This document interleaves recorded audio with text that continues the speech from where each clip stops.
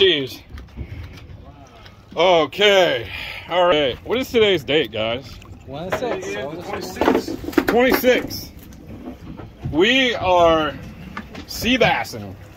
These guys fished with me a couple of weeks ago. And uh there, there's a he's got a triple, he's got a double. Kendall here, she's got a couple on. He's got some on. They got him up on the bow. Nice sea bass, you know. Um, so Oh, nice. Three right here. he's got three. That's a triple right there. Oh, let's see what Kendall's got here. I'm gonna bet. I'm gonna go out on a limb and bet that it's sea bass. but um, the sea bass fishing since the season reopened, it's been kind of tough on the inshore at the Triangle Wrecks today. I mean, we're not in any kind of secret spot or anything like that. But uh, what's going on right now? Oh, Kendall sea bass, two Hey. keeper. Oh, Lost one. well, she had two keepers, but one's free now. uh, what's going on since uh, in the last couple, two, three weeks since the season reopened is that two pound sea bass, nice fish.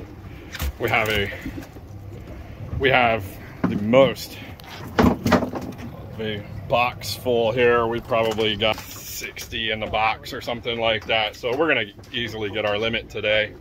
Um, but anyway, what's going on since uh, there's a, he's got a nice two pound sea bass, you know, like nice have to measure, you know, that's it's always good when you don't have to measure them. Our minimum size in Virginia is 13 inches.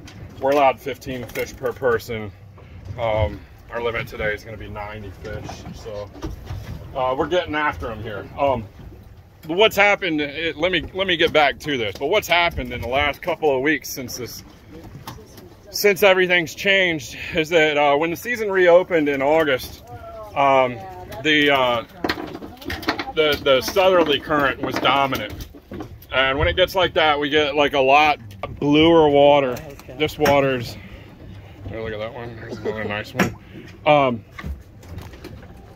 this water is really like a green colored water. This is the kind of water that you catch sea bass in. When the water gets Kendall, look at what you've done here, babe. You got stuff going all over the place. You can't do that. Um, when this water gets uh, gets green like this, that's the stuff that you catch your sea bass in. Um, when it gets blue, a pretty summertime blue water, um, that's when you got to go out, you know, 30, 40, 50, 60 miles to go catch sea bass. You just, um, but we've got this, the water's changed around. These fish, or these fish haven't been here long. And um, it's good to see them. Good to see them here. You know, this is what people like to catch on these full day inshore. They like to catch sea bass. They like to catch flounder. They like to catch triggerfish.